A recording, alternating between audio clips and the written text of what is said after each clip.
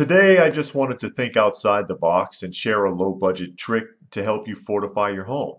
The average house simply will not stand up to gunfire, and I like to keep it in mind that the average prepper or survivalist is not a millionaire who can afford steel plates or Kevlar curtains for the insides of all of their walls to help fortify their homes. But this tip you probably can afford. First of all, let me just point out that I am aware that there is no such thing as literal bulletproofing. Just like how a bulletproof vest isn't actually bulletproof, it resists bullets. So basically what you're doing is making your home bullet resistant. I only say bulletproof because it's the common term that is widely used when discussing the deflecting of bullets. The idea I'm presenting is relatively simple to do and won't draw attention to your home either. That is, your home won't look so drastically different as to draw attention.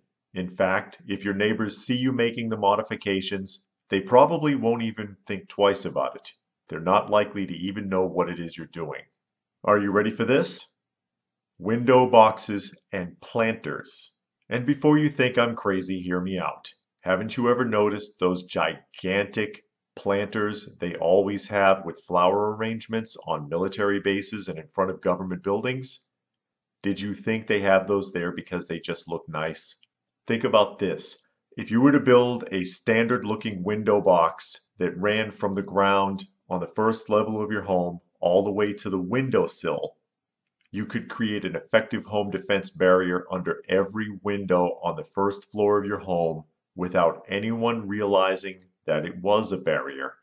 In fact, it would be aesthetically pleasing, possibly even making your home look nicer. Whether you use wood or brick to build your box is up to you. Neither will stop a bullet effectively, so choose what looks best on your home. Fill the boxes with sand, not dirt. Sand is much more effective at resisting bullets. Typically, 7 inches of sand will shatter a bullet even from a high caliber rifle. But you would need more than three times the depth of dirt to have the same effect, so don't use dirt. I would build the boxes so they have an interior thickness of between 14 to 21 inches, and that would be two to three times the depth needed to effectively stop a bullet. About every 7 inches inside the box, place a sheet of thin steel, 1 16th will do, to help slow down the sand leakage from multiple concentrated shots. For added protection, if it's in your budget, against the back part of the box facing the house, you can place steel sheets as a final barrier.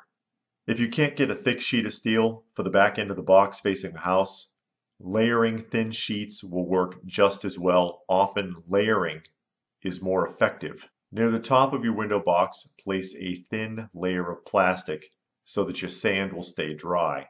Then fill up the last couple of inches with your favorite decorative flowers and no one will be the wiser. If you have the yard space, I would also place large planters in strategic positions around the house that were built in the same way. To the naked eye, they just look like decoration, but they can provide satisfactory defense for your home. Now you have a nice little defense position under every window and around your perimeter. And since the barrier is actually on the outside of your house, you don't have to worry about excess weight bearing on your floors. And if you have any questions about the effectiveness of this, build one at a shooting range and see for yourself. So I hope you found this information helpful. If you have anything to add, please feel free to post it in the comments section down below. Give the video a thumbs up if you got something out of it. I hope that you did. Share it if you can and subscribe if you are new. Check out some of the other videos. You may find something helpful to you. So like it always says, stay frosty folks, and thanks for watching.